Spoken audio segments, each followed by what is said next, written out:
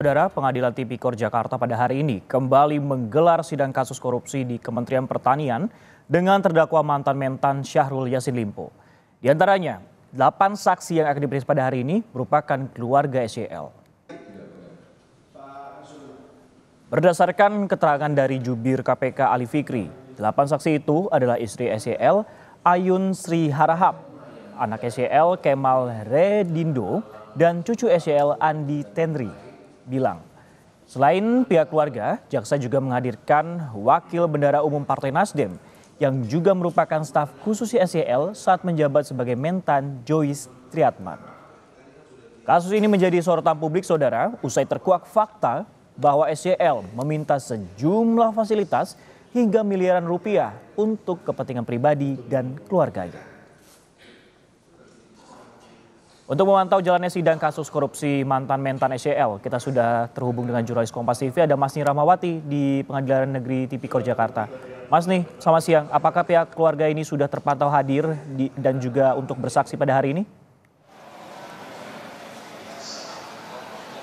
Untuk pantauan kami hingga siang hari ini masih belum terlihat uh, dari keluarga Sahrul Yassin Limpo atau uh, mantan Menteri Pertanian ini masuk ke ruang sidang untuk bersaksi pada hari ini. Namun dari pantauan kami tadi dari sekitar pukul uh, 11 lewat memang yang masuk ke dalam ruang sidang merupakan saksi-saksi yang bersaksi pada pekan lalu. Ada delapan saksi yang melanjutkan pemeriksaan saksi pada hari ini yang sebelumnya pada pekan lalu ini belum selesai untuk dimintai keterangannya. Di antaranya yaitu adalah Kepala Badan Standarisasi Instrumen Pertanian di Kementerian Pertanian, Kepala Bagian Umum Sekretariat Badan Penelitian dan Pengembangan Pertanian, Kepala Biro Organisasi dan juga Kepegawaian Kementerian Pertanian, Staf Biro Umum dan Pengadaan yang juga merupakan staf khusus dari Menteri Pertanian dan juga protokol Kementerian Pertanian serta uh, Ketua Tim Ketata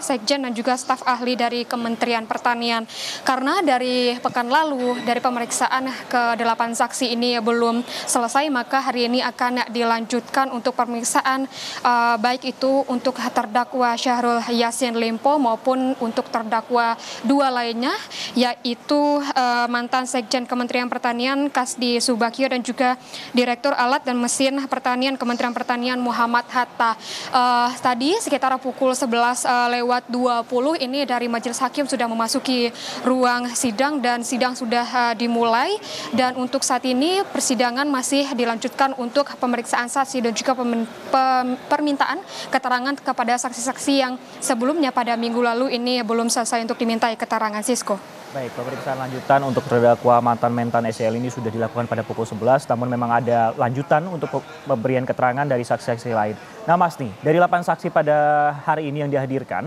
tiga di antara ini kan merupakan keluarga Sharon Limpo. Apa kemudian yang digali dari keluarga ini? Apakah aliran dana yang fantastis yang diterima oleh pihak keluarga?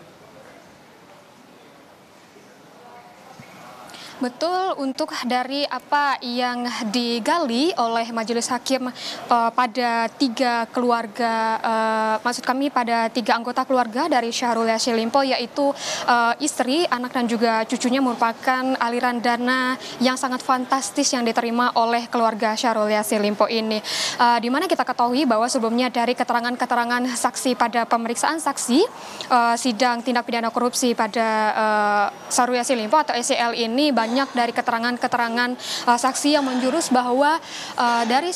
Syahrul Yassin Limpo atau SLI ini meminta atau uh, dari keluarganya ini memberikan semacam reimburse seperti itu yang nilainya sangat fantastis memang di atas puluhan juta bahkan sampai ratusan juta. Uh, dari uh, istrinya sendiri ini uh, mendapatkan uang uh, diduga mendapatkan uang 30 juta per bulan di mana uang yang didapatkan ini berasal dari anggaran-anggaran dari Kementerian Pertanian. Sebenarnya dari uh, KPK juga menyebutkan bahwa sebenarnya untuk hari ini akan juga diadakan pemeriksaan saksi di mana pemeriksaan pemeriksaan saksi ini merupakan delapan orang, uh, yaitu tiga di antaranya merupakan keluarga dari SEL dan uh, lima di antaranya lagi yaitu dari staf Biro Umum Kementerian, dari accounting dari Partai Nasdem, pengurus rumah pribadi Syahrul Yassin Limpo, juga honorer yang bekerja di Sekjen Kementerian Pertanian. Dan memang sebelumnya pun uh, sempat dibahas terus dan juga digali terus bagaimana sebenarnya aliran dana yang ada di Kementerian Pertanian dan sempat ada dari uh, Partai Nasdem yang disebutkan di sepanjang perja, uh, persidangan, di mana sebelumnya dari dua minggu sebelumnya untuk sidang uh, pemeriksaan saksi disebutkan bahwa ada yang bernama Joyce uh, Triatman di mana ini merupakan staf khusus Kementerian Pertanian dan juga sekaligus kader dari Partai Nasdem. Diduga memang dari uh, Joyce ini berkoordinasi dengan Sekjen Kementerian Pertanian untuk mengumpulkan uang hingga 1,95 miliar atau hampir 2 miliar dan juga uang sebesar 850 juta serta uh, paket telur ini hingga 15 ton di mana permintaan Joyce ini melalui mantan Sekjen Kementerian Kementerian uh, Pertanian yaitu Kasdi Subakyo pada tahun 2023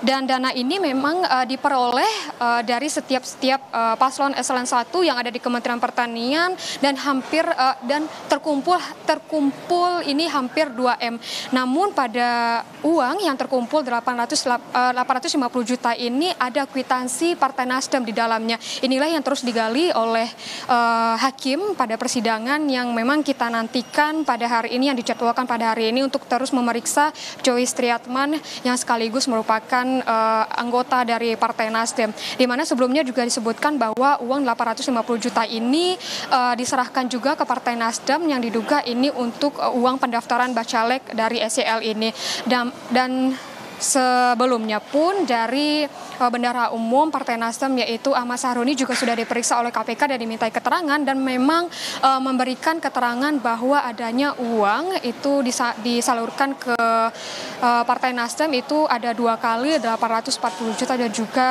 uh, 40 juta yang diberikan ke Partai Nasdem namun Ahmad Sahroni menyebutkan bahwa uang ini sudah dikembalikan kembali ke Sahrul Yassin Limpo atau SEL. Selain itu pun memang yang akan digali oleh hakim uh, soal mendalami aliran dana yang terima oleh SEL dan keluarganya, di mana sebelumnya dari Kabak Umum Ditjen Perkebunan Kementerian Pertanian Sukim ini menyebutkan bahwa dirinya sempat dimintai oleh anak dari SEL yaitu Kemal Redindo mengenai uang untuk renovasi rumah. Ini diminta sebanyak 200 juta uh, dengan rincian dua kwitansi 100 juta, 100 juta seperti itu. Namun saat dimintai kepada Sukim ini pun uh, akan dimintai kepada pejabat-pejabat yang ada di dalam Kementerian Pertanian, namun tidak ada yang memberikan uang tersebut. Akhirnya dari Sukim inilah memakai uang pribadinya diberikan kepada anak dari SEL. Namun hingga saat ini mengaku bahwa uang tersebut pun belum dikembalikan oleh anak SEL. Selain itu yang digali pun selain kepada anak dan juga uh, istrinya, yang di mana memang istrinya yang uh, tadi sempat saya sebutkan bahwa uh, istrinya ini uh, menerima uang 30 juta per bulan dari Kementerian Pertanian ini pada tahun 2020 hingga tahun 2021 dan juga membeli tas mewah menggunakan anggaran dari Kementerian Pertanian. Selain itu pun hakim juga akan mendalami bagaimana juga aliran uang yang uh, sampai ke anak dan juga, cucu SLL di mana uang ini menggunakan uang kementerian juga Kementerian Pertanian untuk memesan tiket pesawat kelas bisnis dan juga untuk kue ulang tahun serta karangan bunga yang tentunya ini akan didalami juga oleh uh, hakim bagaimana sebenarnya apakah benar dari uang uh, tersebut digunakan untuk keperluan-keperluan pribadi baik itu SEL maupun dari keluarganya. Selain itu pun uh, dari cucunya SEL ini sempat juga ditransferkan uang 200 juta dan ini dari anggaran-anggaran yang ada di Kementerian Pertanian juga. Uh, jika kita himpun bagaimana uh, sebenarnya aliran uang yang sampai dari uh, maksud kami aliran uang dari Kementerian Pertanian yang sampai ke Syahrul Yassin Limpo ini yang pertama yaitu uang bulanan untuk istri dari SEL ini sebanyak 30 juta per bulan pembelian tas mewah ini seharga pembelian tas mewah seharga 100 juta dan juga skincare anak dan juga skincare istri dan juga uh, cucu dari SEL ini yang berkisar dari 17 hingga 50 juta yang dimintai ke Biro Umum dan juga Pengadaan Kementerian Pertanian serta uang 500 juta untuk membeli mobil untuk anak Sahrul Yasir Limpo. Limpo seperti itu dan juga biaya perawatan uh, anak, uh, beli sound system seharga 21 juta, renovasi kamar anak itu mencapai 200 juta juga kado kado ulang tahun untuk cucu dari SEL ini sebesar 25 juta. Sebenarnya untuk anak, istri dan juga dari cucu uh, SEL ini memang tidak uh, maksud kami uh, boleh ini meminta untuk tidak menjadi saksi pada terdakwa SEL namun karena dari keluarga uh, eh, SEL ini terjerat juga dan juga berkaitan dengan